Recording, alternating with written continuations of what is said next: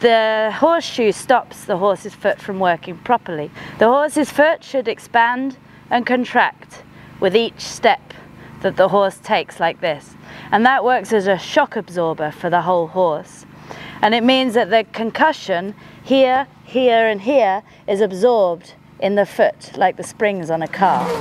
If you put a metal shoe around the edge of this foot, it's rigid like this. And every stride that the horse takes jolts this, this and this. And that's what creates the pain in all the joints. The other thing that a horse's foot is supposed to do